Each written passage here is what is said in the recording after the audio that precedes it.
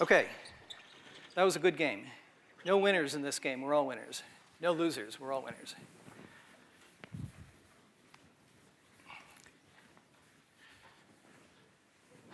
Okay, so good. Yeah, so let me make this table of the different trig substitutions uh, and how they can be useful. Summary.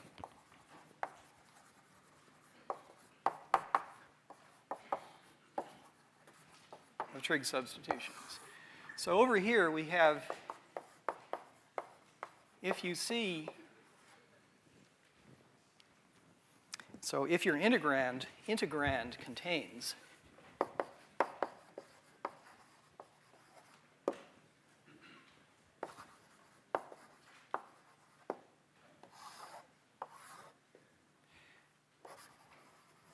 make the substitution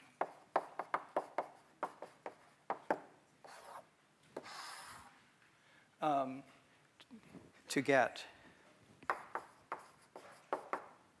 So if your integrand contains, um, I'll write these things out as square roots. If it contains the square root of a squared minus x squared, this is what we talked about on Thursday when I was trying to find the area of that piece of a circle.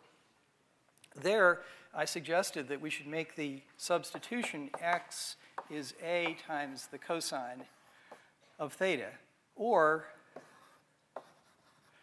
x is a times the sine of theta. Either one um, works just as well, and there's no way to prefer one over the other.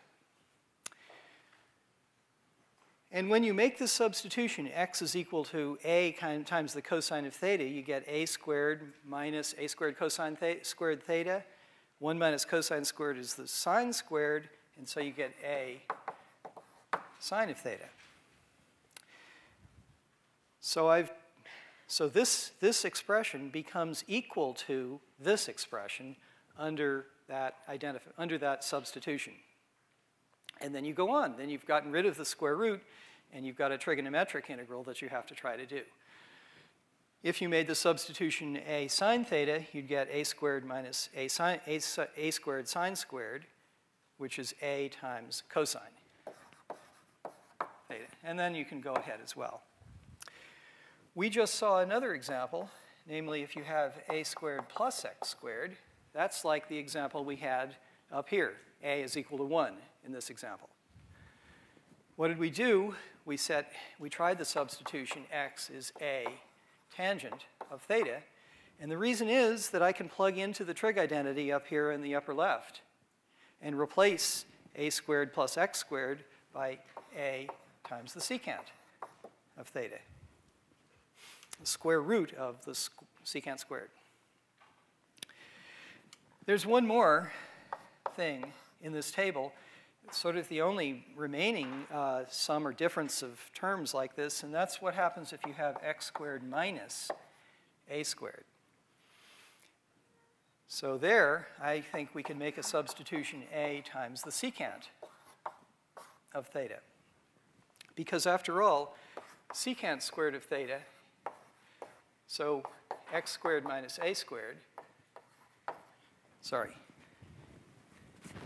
Let's see what happens when I make that substitution. x squared minus a squared is uh, a squared secant squared theta minus a squared under this substitution. That's secant squared minus 1. Well, put the 1 on the other side, and you find tangent squared coming out. So this is a squared times the tangent squared of theta.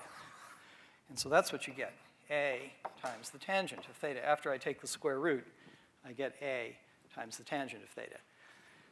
So these are the basic, the three basic trig substitution forms where trig substitutions are useful to get rid of expressions like this and replace them by trigonometric expressions.